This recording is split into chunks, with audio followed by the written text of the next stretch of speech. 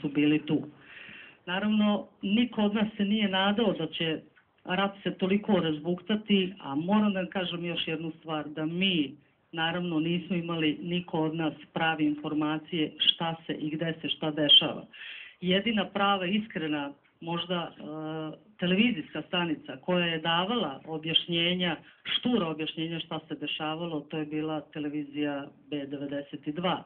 Naravno, te iste godine u novembru mesecu ja sam polomila nogu, zatim te iste godine, odnosno 93. godine ja sam otišla u Brčko po svoju familiju da ih spasim.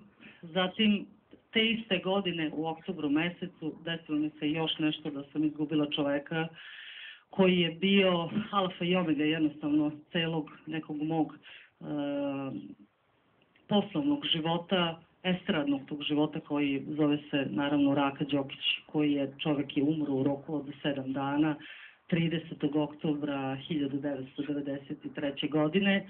A moramo reći da u to vreme nije baš bilo pametno mnogo se talasati i mnogo se javljati, zato što osobe koje se bave estradom i osobe koje se bave show biznisom, njihova reč tog trenutka nije imala uopšte nikakvu ni važnost, niti je imala nikakvu veličinu, tako da je meni tog trenutka kada sam shvatila da je život moj i moje porodice ono što je najbitnije u ovom životu, ja sam odlučila da jednostavno ćutim. Jer bilo što da kažem, ja sam jako dobro znala i svi vi dobro znate da raspadom Velike Jugoslavije i ratom koji je počeo 1991. godine, kako se raspala Jugoslavija, tako se raspala normalno i lepo Brena. Ja sam bila osoba koja sam bila najbolje primljena i u Splitu, i u Zagrebu, i u Tuzli, i u Sarajevu, i u Skoplju, i u Titogradu. I ne mogu više da nabrojim, ne postoji grad na našem ovom horizontu koji ja sada zovem jednostavno moja velika uspomena gde ja nisam bila dobro primljena. Međutim, pošto su moji roditelji živeli u Zagrebu, pošto sam ja živela u Beogradu i moji roditelji su bili, cela moja familija bila na neki način, na neki način je bila sigurna i spašena. Vi znate da u to vreme je bilo mnogo, svako ko je previše talasao, ko je previše dizao glas svako ko je bio previše pametan i naravno svako ko je bio protiv rata, da su takvi ljudi gubili glavu.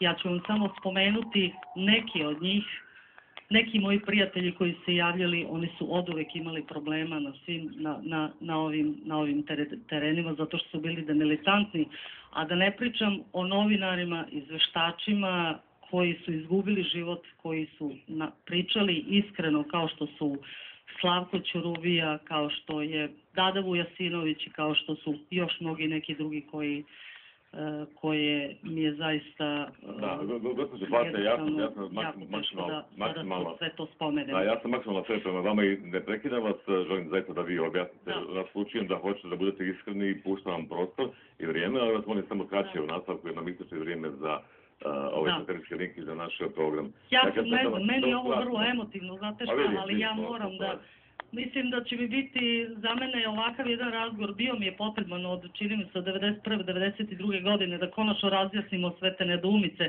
i izvolite slobodno me pitajte.